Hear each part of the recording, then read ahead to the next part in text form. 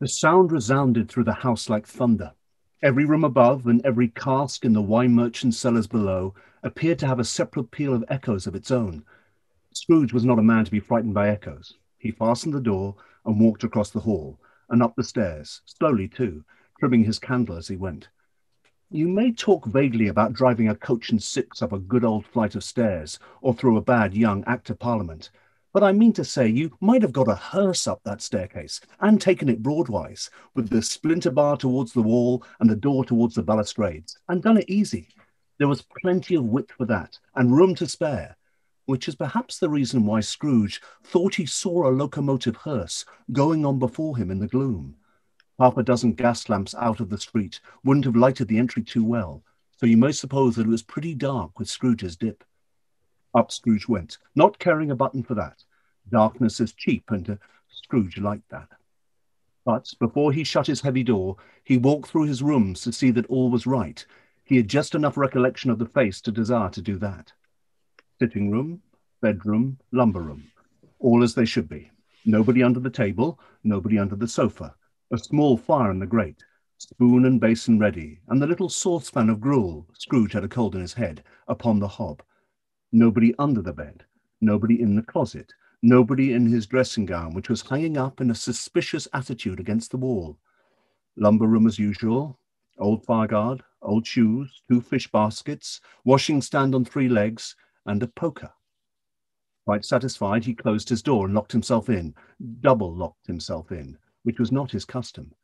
Thus secured against surprise, he took off his cravat, put on his dressing gown and slippers and his nightcap, and sat down before the fire to take his gruel.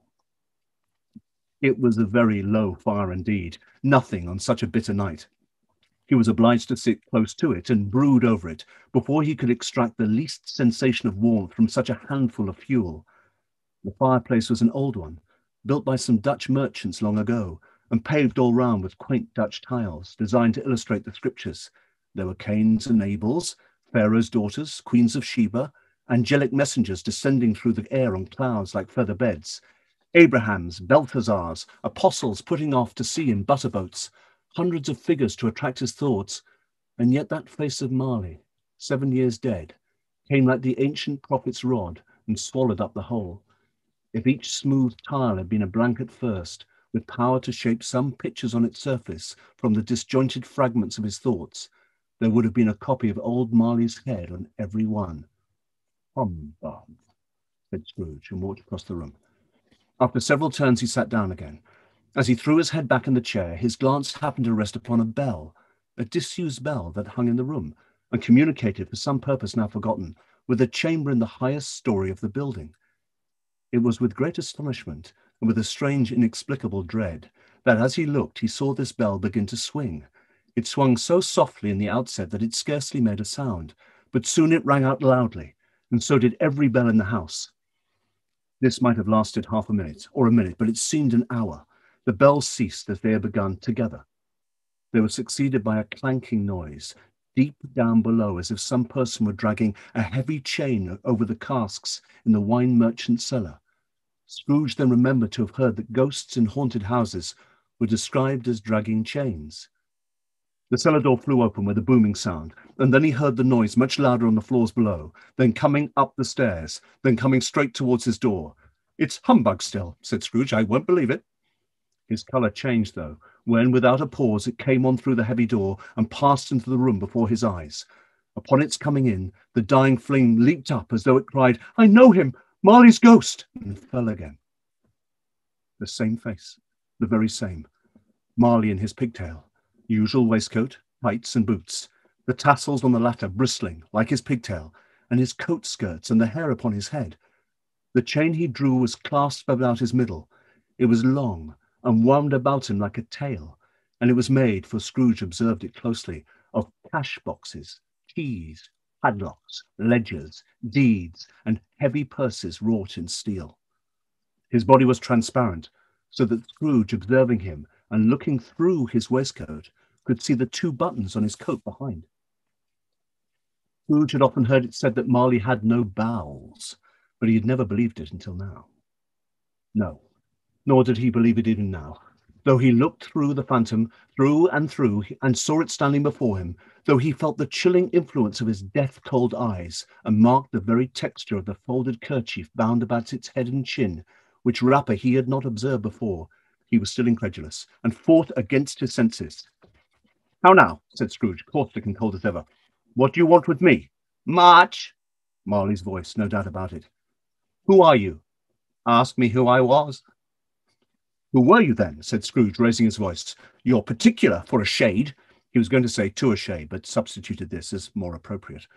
In life, I was your partner, Jacob Marley. Can, can you can you sit down? asked Scrooge, looking doubtfully at him. I can. Do it then. Scrooge asked the question because he didn't know whether a ghost so transparent might find himself in a condition to take a chair, and felt that in the event of it being impossible, it might involve the necessity of an embarrassing explanation. But the ghost sat down on the opposite side of the fireplace, as if he were quite used to it. You don't believe in me, observed the ghost. I don't, said Scrooge. What evidence would you have of my reality beyond that of your own senses? I don't know, said Scrooge. Why do you doubt your senses? Because, said Scrooge, a little thing affects them. A slight disorder of the stomach makes them cheats. You may be an undigested bit of beef, a blot of mustard, a crumb of cheese, a fragment of an underdone potato. There's more of gravy than of grave about you, whatever you are. Hmm.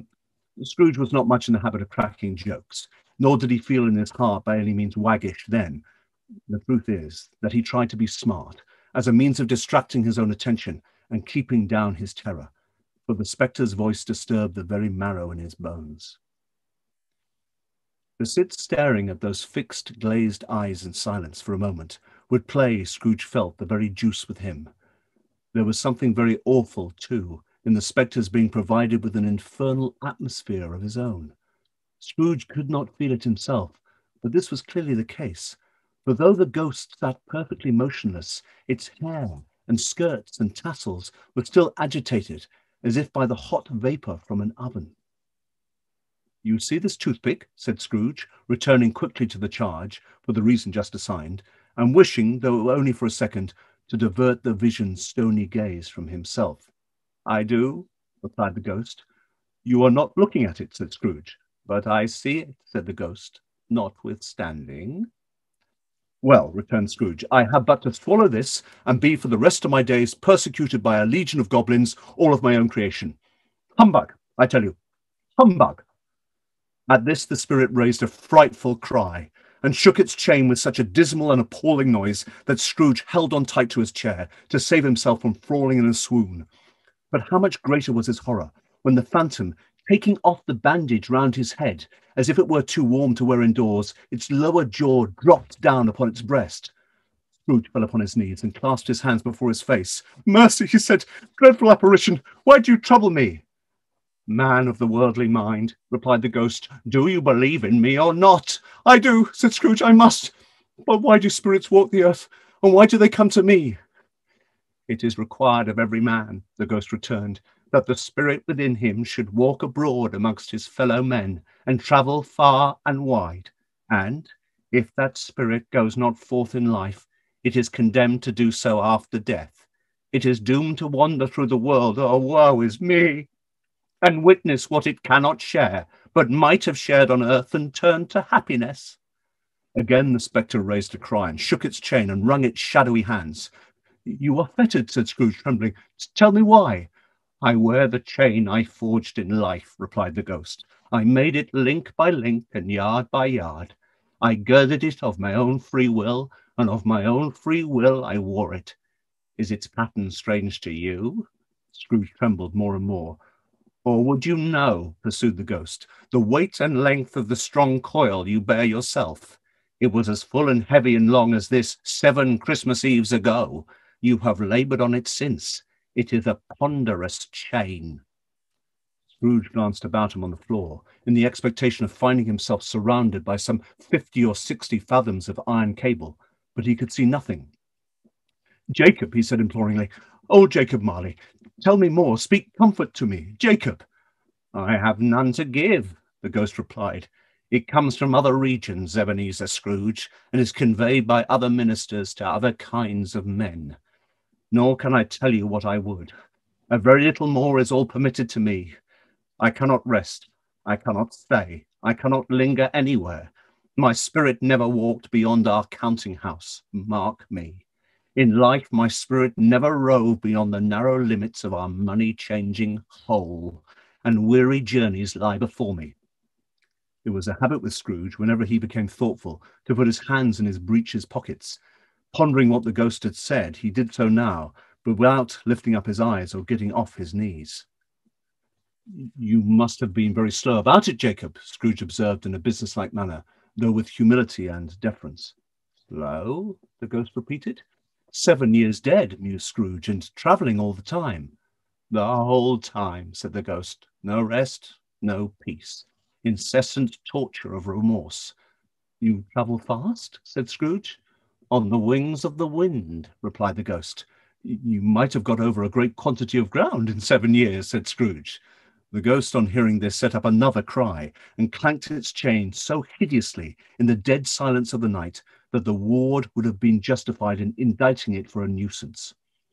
Oh, captive, bound and double ironed, cried the phantom, not to know that ages of incessant labour by immortal creatures for this earth must pass into eternity before the good of which it is susceptible is all developed, not to know any Christian spirit working kindly in its little sphere, whatever it may be, will find its mortal life too short for its vast means of usefulness, not to know that no space of regret can make amends for one's life's opportunities misused. Yet such was I. Oh, such was I.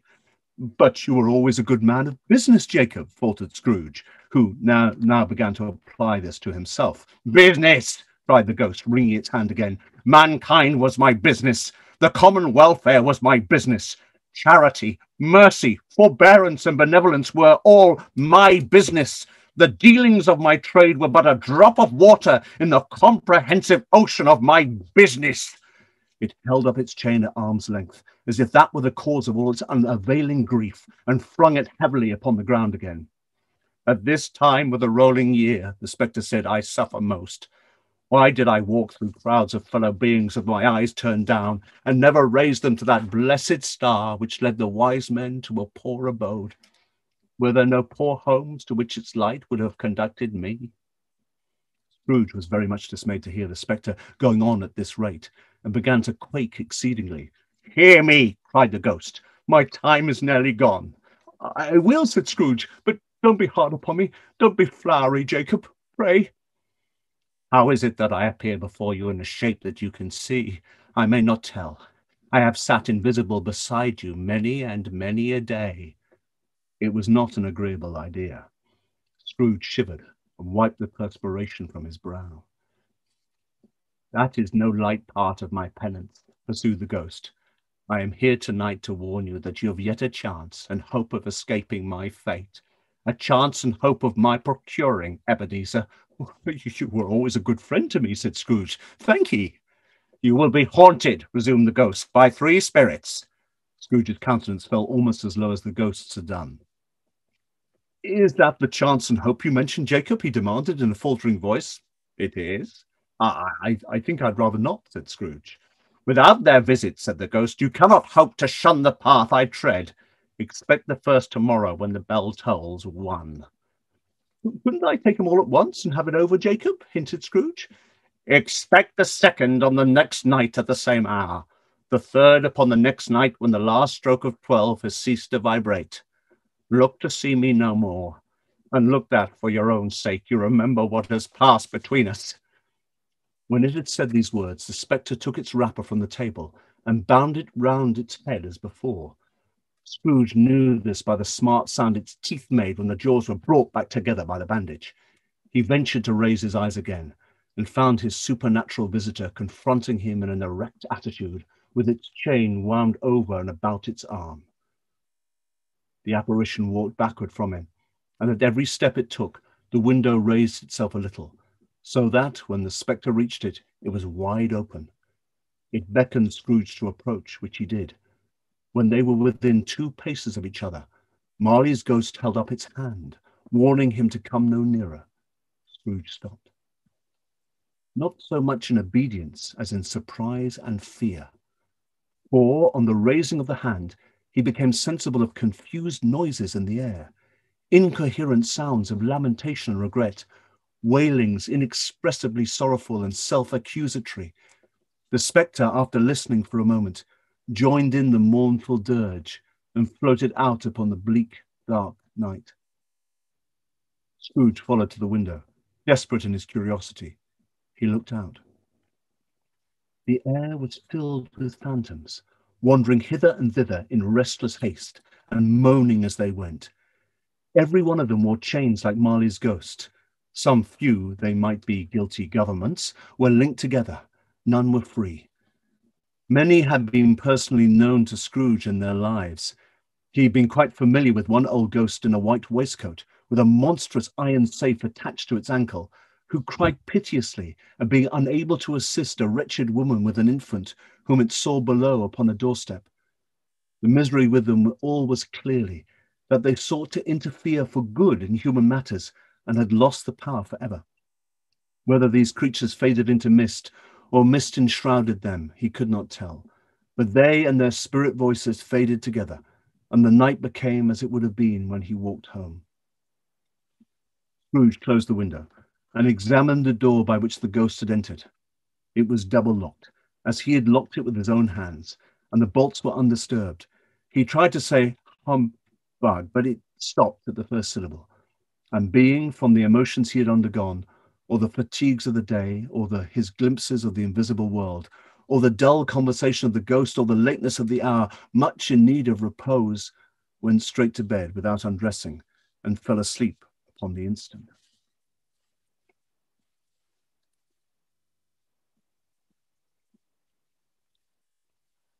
When Scrooge awoke, it was so dark that looking out of bed, he could scarcely distinguish the transparent window from the opaque walls of his chamber. He was endeavoring to pierce the darkness with his ferret eyes when the chimes of a neighboring church struck the four quarters, so he listened for the hour. To his great astonishment, the heavy bell went on from six to seven, and from seven to eight, and regularly up to twelve, then stopped. Well, it was past two when he went to bed. The clock was wrong. An icicle must have got into the works. Twelve? He touched the spring of his repeater to correct this most preposterous clock. Its rapid little pulse beat twelve and stopped. Why, it isn't possible, said Scrooge, that I can have slept through a whole day and far into another night. It isn't possible that anything has happened to the sun and that this is twelve at noon. The idea being an alarming one, he scrambled out of bed and groped his way to the window. He was obliged to rub the frost off with the sleeve of his dressing gown before he could see anything, and could see very little then. All he could make out was that it was still very foggy and extremely cold, and that there was no noise of people running to and fro and making a great stir, as there unquestionably would have been if the night had beaten off bright day and taken possession of the world. This was a great relief because three days after sight of this first exchange of pay to Mr. Ebenezer Scrooge of his order and so forth would have become a mere United States security if there were no days to count by. Scrooge went to bed again and thought and thought and thought it over and over and could make nothing of it.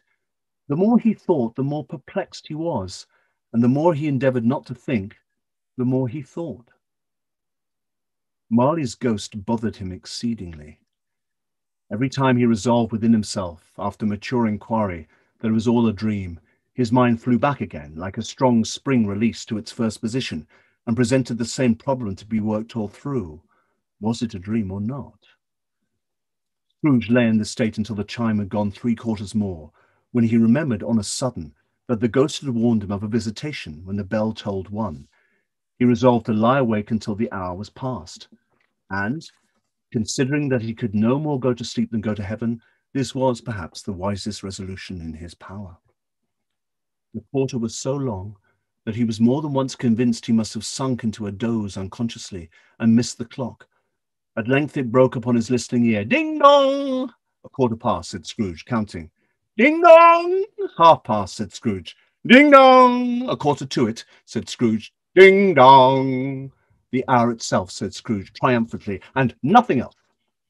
He spoke before the hour bell sounded, which it now did with a deep, dull, hollow, melancholy one. Light flashed up in the room upon the instant, and the curtains of his bed were drawn. The curtains of his bed were drawn aside, I tell you, by a hand. Not the curtains at his feet, not the curtains at his back, but those to which his face was addressed. The curtains of his bed were drawn aside, and Scrooge, starting up into a half recumbent attitude, found himself face to face with the unearthly visitor who drew them, as close to it as I am now to you, and I am standing in the spirit at your elbow. It was a strange figure, like a child, yet not so like a child as like an old man, viewed through, through, some supernatural medium which gave him the appearance of having receded from view and being diminished to a child's proportions. Its hair, which hung about its neck and down its back, was white, as if with age, and yet the face had not a wrinkle in it, and the tenderest bloom was on the skin. The arms were very long and muscular, the hands the same, as if its hold were of an uncommon strength. Its legs and feet, most delicately formed, were like those upper members, bare, it wore a tunic of the purest white, and round its waist was bound a lustrous belt, the sheen of which was beautiful. It held a branch of fresh green holly in its hand, and, in singular contradiction of that wintry emblem, emblem had its dress trimmed with summer flowers.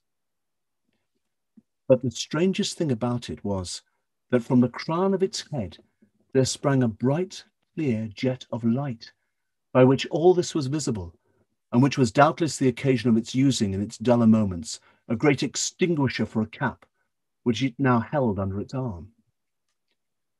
Even this, though, when Scrooge looked at it with increasing steadiness, was not its strangest quality.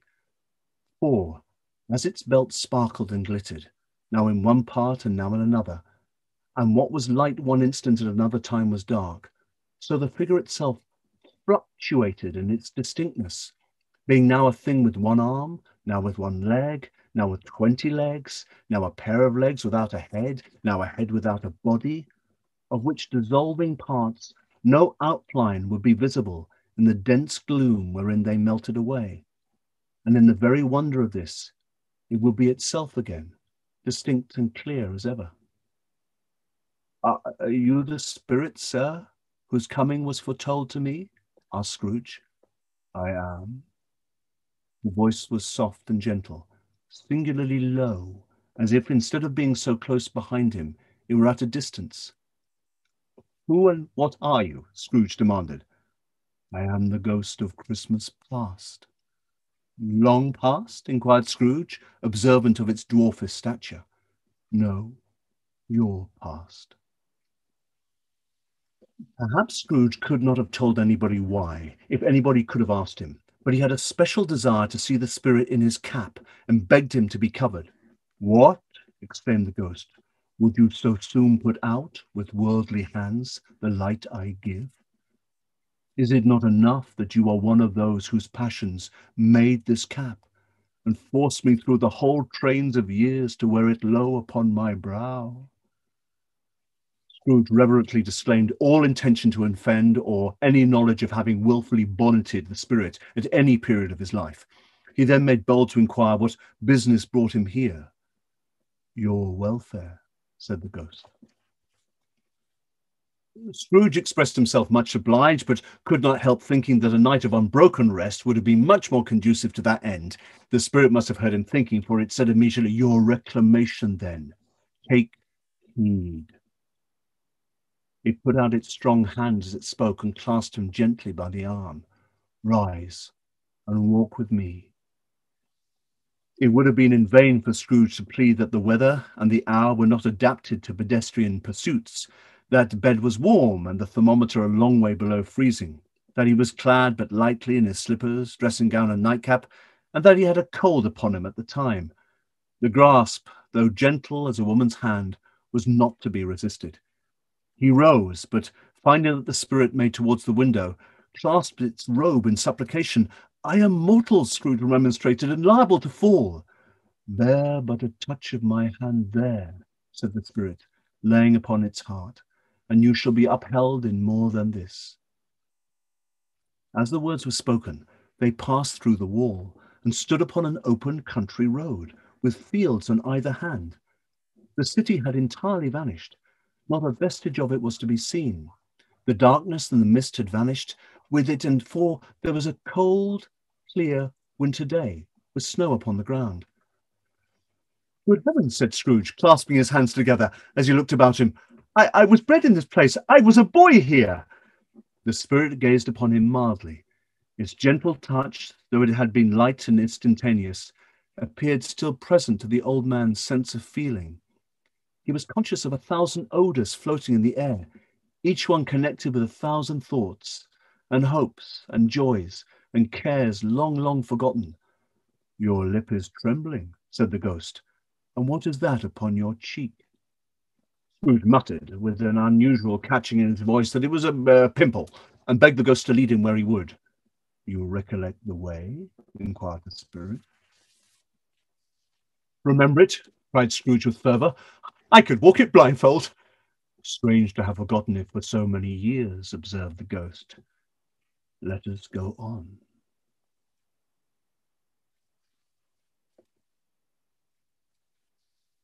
And that's it for today.